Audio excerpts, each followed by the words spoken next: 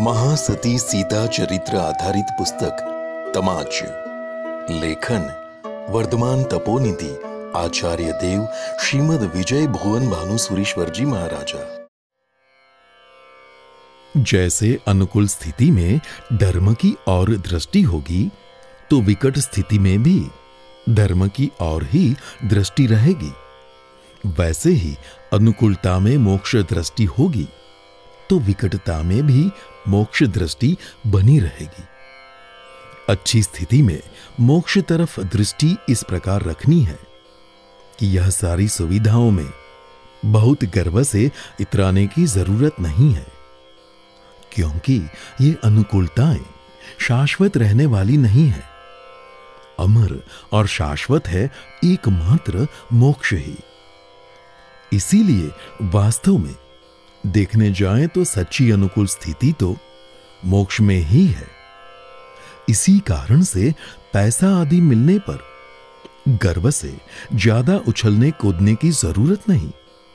संतुष्ट होने की भी ज़रूरत नहीं। मेरी वास्तविक अनुकूलता मोक्ष ही है। यह विचार हृदय में स्थिर कर दो। स्थूल भद्र जी को राजा नंद की ओर से मंत्री पद की अंगूठी भेंट दी गई। तभी स्थूल भद्र को महसूस हुआ कि यह मंत्री पद स्वीकार करने पर मैं अपना पूरा समय कोशावेश्या के साथ नहीं बिता पाऊँगा। इसीलिए मुझे यह मंत्री पद का अस्वीकार करना होगा।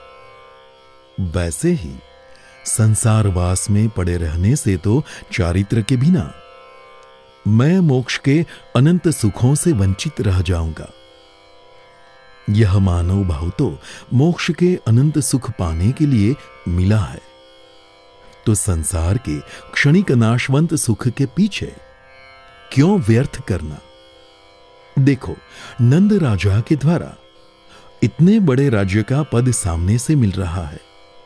यह दुनिया की नज़रों से देखो तो कितनी बड़ी अनुकूल स्थिति। फिर भी नज़रों के सामने मोक्ष आ खड़ा।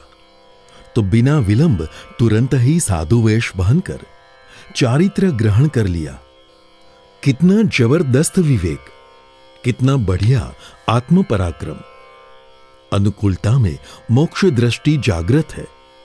इसीलिए श्रावक परलोक प्रधान जीवन जीते हैं। अनुकूलता में भी ऐसे विचार, वाणी और व्यवहार न करे। जो यहाँ तो सुख में मन को वाहवाही महसूस कराए, पर परलोक को बिगाड़ दे। परलोक बिगड़ा, यानी परलोक के हल्के भाव बांधे। हल्के भाव में तो पाप ही करने को मिलेंगे। और इस